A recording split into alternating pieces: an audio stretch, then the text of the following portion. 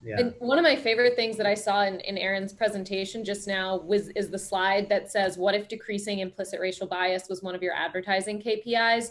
I just think that that's such a strong, mm-hmm.